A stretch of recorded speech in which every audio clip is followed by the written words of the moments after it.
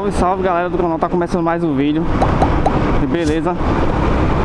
Olha aqui onde é que eu tô, a Orla de Boa Viagem Recife, Pernambuco. Vamos voltar aqui a falar sobre pilotagem no trânsito, né?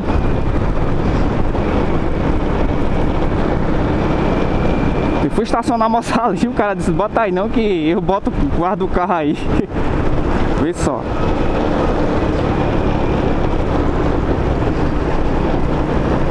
agitado demais. Hoje é domingo.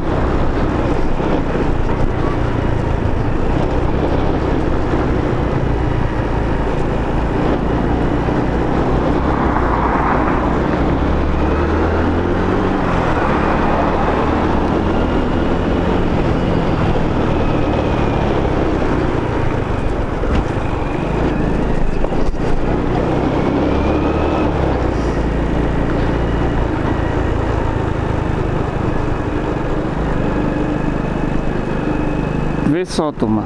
Eu tinha falado outra vez sobre. Eu tinha feito um vídeo. Tá aí, postei pra vocês sobre as faixas, turma. Qual a faixa indicada aí pra andar. Tem uma pessoa que tava com dúvida. Qual faixa andar.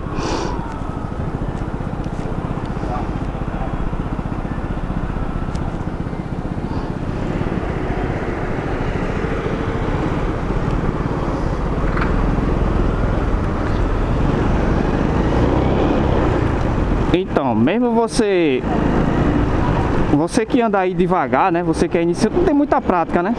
É bom você estar tá sempre aqui na direita, ó, como eu tô fazendo. Mesmo as vias aqui costumam ser bem limitadas, né? O carro aqui tá andando a 30 km. Em situações que você vai precisar ir para a direita, porque você indo devagar, né? Você fica na direita, não vai ter aqueles carros lhe pressionando. Se você quiser ir para a esquerda, tem casos que dá para ir, né? Porque o trânsito vai estar tá bem lento. E eu, eu dou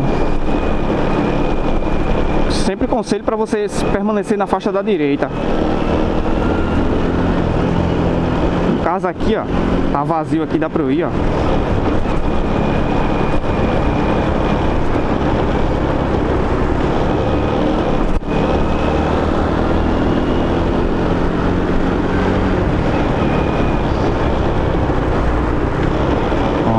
Abriu mais uma faixa aqui. Pronto, no caso aqui essa via tem três faixas. Se eu fico no meio ou se eu fico na direita?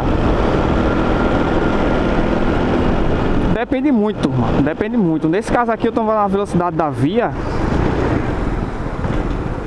Nesse caso aqui, como eu tô na velocidade da via, tem uma via, tem uma faixa ali, tem a faixa da esquerda, né? Os carros que quiser, tiver apressado, deixa ir lá para a esquerda e você fica ou no meio ou na faixa da direita.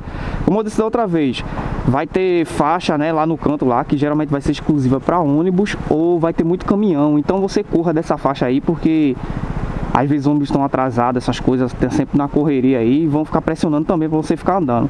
No meu caso aqui, se tivesse muito fluxo de ônibus aqui, eu permaneceria no meio aqui, porque na direita eu sei que os ônibus iam estar tá lá, né? Geralmente as paradas de ônibus costumam ser no canto, pelo menos aqui em Pernambuco, o lado da porta dos ônibus, as paradas sempre são mais do lado direito, a não ser quando tem aqueles ônibus tipo BRT, tem porta dos dois lados.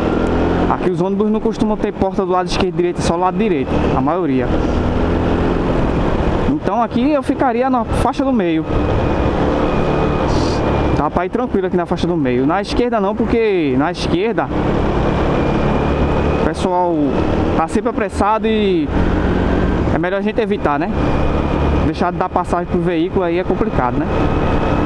Aqui, ó. Se a via fosse de 60, eu colava aqui no 60 aqui e é tranquilo. Melhor ainda se você for lá no canto mesmo, na direita. Só que geralmente o canto é sempre esburacado, né? Às vezes é faixa exclusiva. Mas se não for, você vai lá pro cantinho, fica lá no seu canto. Eu vou aqui de boa na faixa da direita.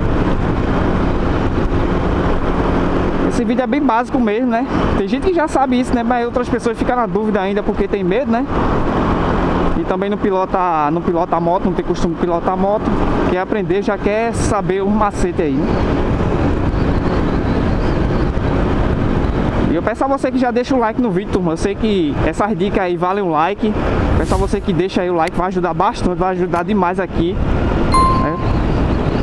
Eu vou saber que vocês estão gostando desse tipo de conteúdo. E se você estiver chegando agora, por um acaso o YouTube recomendou esse vídeo para você e você teve o interesse de clicar, eu peço a você que se inscreva no canal pois tem muito vídeo sobre dicas aqui de, de bis aqui no canal você pode estar tá gostando, né? E vai te ajudar bastante você que está com dúvida aí sobre pilotagem enfim, posso seguir aqui, ó, turma, na faixa do meio, ó velocidade da via a via for de 60 eu reduzo, né? Chegar ele vai ter uma faixa exclusiva, eu já caio fora da faixa exclusiva, automaticamente serão duas faixas só para carro, né? Então eu fico na direita, para que, que eu vou ficar na esquerda aqui? Dá para andar na esquerda aqui? Dá. Só que por medida de segurança, pra gente evitar estar tá atrapalhando os carros aí também, nossa segurança, os carros tá colando atrás, que nem todo mundo anda bem intencionado no trânsito, a gente já fica lá no nosso canto, né? A gente que anda devagar. E uma inscrita falou, eu vi no comentário da inscrita que ela falou se deve ficar olhando toda hora pro retrovisor. E é bom você estar tá de olho sim no retrovisor.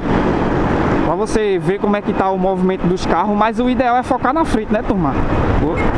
É focar na frente, porque se você ficar também toda hora, toda hora aqui olhando, tirando sua atenção, um olhar fixado aqui no retrovisor, você vai esquecer o que está lá na frente, de repente um carro freia na sua frente, ou tem um carro mais lento e você está muito rápido, aí você vai colidir na traseira do carro, né?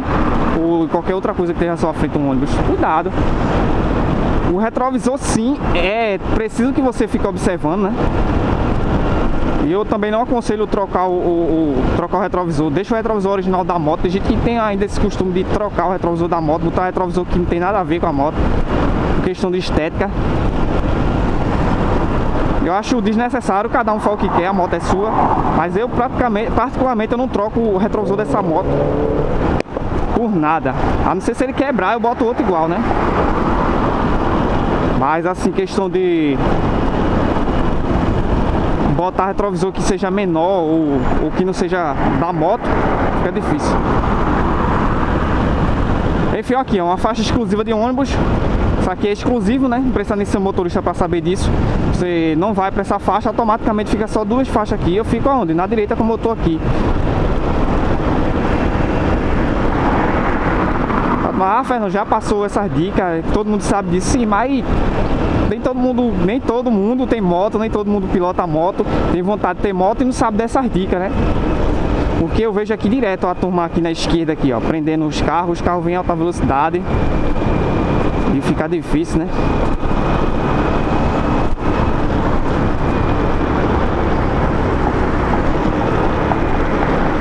Essas foram as dicas, é só para dizer a vocês aí, para reforçar aquele assunto do vídeo passado que eu falei, né? Eu não tava nem na moto. Aí agora a gente veio pro trânsito mostrar na prática como é, né? Ou então você vem para aqui para finalizar, ó. Fico aqui, ó. Deixa as duas, se eu quiser também, ó.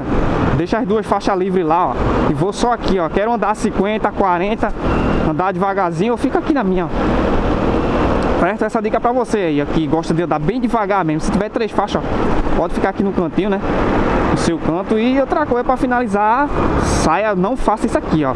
É que eu lembro, ó. Saia do meu fio. Tem gente que anda no meu fio, no canto do meu fio porque quer dar passagem para os carros. Só basta ele dar um toque no seu guidão, você vai cair na calçada lá. Como já houve já relatos de pessoas aqui que caíram de moto por conta de perder o controle. Então você fique no centro aqui da faixa. Agora, geralmente esses cantos aqui, essas últimas faixas, ela tem óleo no meio. Aí você não vai andar em cima do óleo, né? Ou você andando aqui ou do lado, do lado de cá. Mas não fica muito na ponta do meio fio não, porque é perigoso, Você, é perigoso você andar em cima do óleo que cai dos caminhões, geralmente essas últimas faixas tem. E se essa última faixa tiver, como eu disse, anda no meio, por quê? Pra você não tá botando sua moto em cima de óleo, diesel aí, escorregar e a queda é certa. Certo? Para finalizar, se faltou alguma coisa, vocês complementem abaixo que eu vou estar tá lendo e a gente vai estar tá interagindo juntos. E não esquece o like para fortalecer até os próximos vídeos. Fui!